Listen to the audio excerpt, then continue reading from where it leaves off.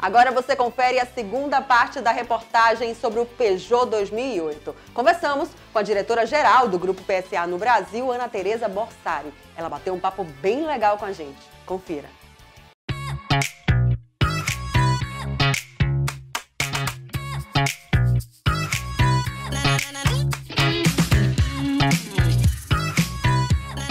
Além dos produtos, a Peugeot também apresentou para os jornalistas algumas mudanças importantes que visam uma melhor relação da marca com os clientes. A virada começou pelo básico. A Peugeot investiu em três anos 20 milhões de reais em preparo da equipe e modificação da rede de concessionárias. Para se ter uma ideia, esse é o valor que a marca tinha investido na rede nos 15 anos anteriores.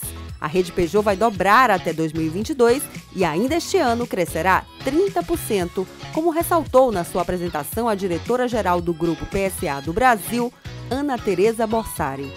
Fizemos uma profunda reformulação nos nossos parceiros concessionários, porque o que é importante é trabalharmos com parceiros, com titulares, que como a gente acreditem que o caminho seja o encantamento do cliente acima de tudo que o caminho para a construção do negócio é através do cliente. Não só trabalhamos as estruturas, mas trabalhamos também os processos na rede de concessionários.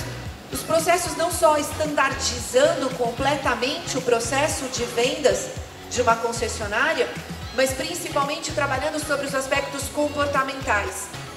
Nós fizemos o turnover, mudamos o comportamento dessas pessoas para que cada ponto de contato no frontline uh, das nossas concessionárias, o cliente se sinta plenamente acolhido e entenda esse novo momento e fale, puxa, eu estou aqui sendo atendido, esse atendimento é um atendimento premium, é um atendimento de excelência. Mais de mil carros reserva, distribuídos entre quase 100 pontos de venda, estão disponíveis nas concessionárias para que nenhum cliente fique sem veículo se a manutenção durar mais de quatro dias. Além disso, a Peugeot instituiu um serviço de reboque gratuito 24 horas durante os primeiros oito anos de uso do carro, mesmo que ele esteja fora da garantia. Quanto aos serviços, o custo de manutenção foi alinhado com o restante do mercado. É uma mudança e tanto para uma marca que durante anos foi vista como ineficiente nos serviços. A confiança é tão grande que o novo lema é: cliente insatisfeito com o serviço de manutenção não paga. Ana Tereza afirma que essa iniciativa não é bancada pelo fabricante, mas sim pelos próprios concessionários. Ana, você na sua apresentação fala de três pilares, três mudanças importantes que a Peugeot está apresentando agora: rede, serviços, produtos. Rede, o que é que você destaca? Uh, uma transformação completa da nossa rede de concessionárias. Uh, nós mudamos muitos investidores, muitos concessionários, porque nós queríamos parceiros que, como a gente quisessem, por obsessão, o encantamento dos nossos clientes e hoje temos uma rede totalmente em, que encarna a, a nova Peugeot que a gente está apresentando para o mercado e a partir de agora estamos lançando um grande plano de expansão da rede de concessionários. Nosso objetivo é dobrar o número de concessionários daqui até 2022. Vamos falar agora de Bahia, falando de Bahia. Que, como é que você vê a rede de concessionárias hoje na Bahia, em Salvador? Hoje temos uma rede firme em Salvador, mas certamente a Bahia faz parte desse plano de expansão, sim. Falando de serviços agora, é, é muita convicção na qualidade de afirmar que cliente satisfeito não paga. Vocês dizem que são melhores pós-venda e serviços do, do mercado. Por que afirmar isso? Porque a gente precisava de um gancho de impacto para mostrar para todo e qualquer brasileiro do que nós somos capazes de fazer em termos de serviços de pós-vendas para o mercado nacional. Então, em conjunto com a nossa rede de concessionários, Inicialmente, há dois anos atrás, desenvolvemos 10 compromissos e lançamos o Peugeot Total Care e agora estamos maduros para passar para uma nova fase e lançamos esse desafio. Se você não estiver satisfeito com o serviço, você não paga. É muita convicção mesmo. Produto 2008 especificamente, o que é que você é, destaca no carro? O 2008 ele coroa a nossa gama SUV, totalmente esteticamente em linha com o restante da nossa gama. É o nosso Mini 3008, que a gente tem muito orgulho de estar lançando no Brasil.